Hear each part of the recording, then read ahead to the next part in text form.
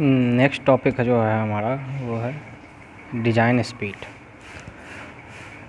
जो design speed क्या है कि it is the permissible speed of vehicles moving on the particular road किसी भी पर्टिकुलर रोड पे जितना परमिसिबल स्पीड प्रोवाइड परमिट किया जाता है मतलब जिस किसी भी रोड को एक पर्टिकुलर स्पीड के लिए डिज़ाइन करते हैं, हम उसका सुपर एलिवेशन हम लोग स्पीड और सुपर एलिवेशन ग्रेडियंट, कर्व, ये सारे चीज़ों को नेक्स्ट टॉपिक में हम लोग देखेंगे। ठीक है तो डिज़ाइन स्पीड क्या है कि इस, हम लोग देखते होंगे कि बोर्ड रोड पे क्या लिखा हुआ रहता है, स्पीड लिमिट। आगे कहीं कर्व होता है तो कर्व पे हमको इतना स्पीड पे ही जाना है, या जब हम सीधा मूवमेंट कर रहे हो तो इतना स्पीड तो एनएच का किसी नेशनल हाईवे का स्पीड लिमिट अलग होगा, स्टेट हाईवे का स्पीड लिमिट अलग होगा, और और ये जो स्पीड लिमिट है, वो डिपेंड करता है कि हमारा रोड का जो टाइप है है ना?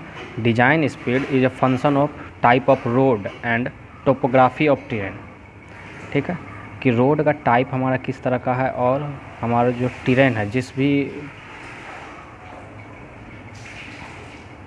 जिस भी एरिया में हम रोड बना रहे हैं, उस एरिया का टोपोग्राफी किस तरह का? मतलब वहाँ पे कितना ज़्यादा स्लोप है या माउंटेनस एरिया है या प्लेन एरिया है उस तरह के उसका टोपोग्राफी क्या है उस पर भी डिपेंड करेगा ठीक है?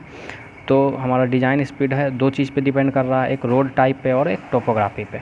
तो इसके बेसिस पे जो इंडियन रोड कांग्रेस है वो स्पेसिफिकेशन देता है कि एक पर्टिकुलर टाइप के रोड पे एक पर्टिकुलर टोपोग्राफी में इत, उसका स्पीड इतना ही होना चाहिए। तो जो हम Indian Indian Road Congress IRC specification means Indian IRC means Indian Road Congress Indian Road Congress के अनुसार टाइप ऑफ़ रोड्स जो है, हमारा क्या है? National highway state highway other district road and village road तो नेशनल हाईवे है और ये हमारा क्या है? एरिया टोपोग्राफी एरिया टोपोग्राफी किस तरह का है? प्लेन है प्लेन एरिया है। तो वहाँ पे मैक्सिमम स्पीड परमिसिबल स्पीड कितना होता है? 100 किलोमीटर पर आवर ये स्पीड जितना भी दिखाया, लिखा गया वो क्या है? किलोमीटर पर आवर में। तो एनएच में अगर प्लेन एरिया है तो कितना होगा speed 100 kilometre per hour rolling terrain है तो कितना होगा? 80 kilometre per hour mountainous area है तो 60 किलोमीटर पर आवर और हिली एरिया है तो 40 किलोमीटर पर आवर देख रहे हो जिस तरह से एरिया का जो टोपोग्राफी चेंज हो रहा है। टाइप ऑफ़ रोड तो सेम है।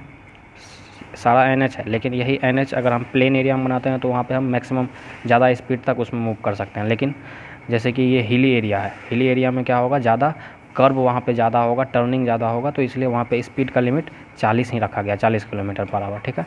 मतलब दोनों चीज़ पे हमारा डिपेंड कर रहा है। डिज़ाइन स्पीड क्या है?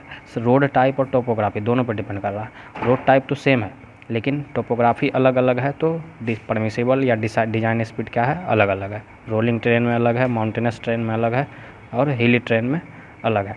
ठीक, उसी तरह से स्टेट हाईवे जो होगा स्टेट हाईवे में प्लेन ट्रेन में कितना स्पीड होता है maximum 80 kilometre per hour rolling में 65 किलोमीटर पर आवर माउंटेनस में 40 किलोमीटर पर आवर एंड हिली ट्रेन में 30 kilometre per our other district road के लिए जो होता है स्पेसिफिकेशन प्लेन एरिया में 65 रोलिंग में 50 माउंटेनस में 30 और हिली में 25 और विलेज रोड के लिए क्या होगा? प्लेन एरिया में 50 और रोलिंग में 40 रोलिंग ट्रेन के लिए 40 किलोमीटर पर आवर माउंटेनस के लिए 25 किलोमीटर पर आवर एंड हिली ट्रेन के लिए 25 किलोमीटर पर आवर ये स्पीड का रिलेशन और हम लोग आगे देखेंगे कि स्पीड किस तरह से डिपेंड करता है रोड के ज्योमेट्रिक पे, है ना? रोड का ज्योमेट्रिक डिज़ाइन जो है वो व्हीकल के स्पीड पे किस तरह से डिपेंड करता है ये हम लोग आगे पढ़ेंगे। जब हम लोग कर्व देखेंगे हॉरिजेंटल अलाइनमेंट देखेंगे सुपर एलिवेशन देखेंगे तो उन सारी चीज़ों में हम लोग इसका यूज़ देखेंगे ठीक है?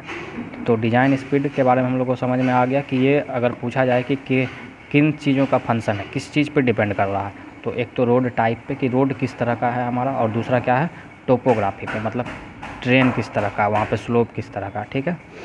है ना? और इसमें से ज़्यादा इंपॉर्टेंट जो है NH और SH के लिए जो स्पेसिफिकेशन दिया गया है नेशनल हाईवे और स्टेट हाईवे के लिए, उसको याद रखना ज़्यादा इंपॉर्टेंट है, ठीक है? ये ज़्यादा एग्ज़ाम ऑब्जेक्टिव में आया, आ सकता है ये वाला कि प्लेन ट्रेन के लिए नेशनल हाईवे पे स्पीड लिमिट क्या होता है, ठीक है? क्या स्टेट हाईवे पे स्टेट हाईवे का स्टेट हाईवे पे प्लेन ट्रेन के लिए स्पीड लिमिट कितना है, ठीक है? ये पूछ सकता है, ठीक है? तो इसको ज़्यादा ध्यान देंगे। एन एच और एस एच पे, ध्यान देना, ठीक है? इस डाटा को याद रख सकते हैं हम लोग, ठीक है? अब नेक्स्ट लेक्चर में हम लोग देखेंगे ग्रेडियंट के बारे में, ठीक है? Thank you.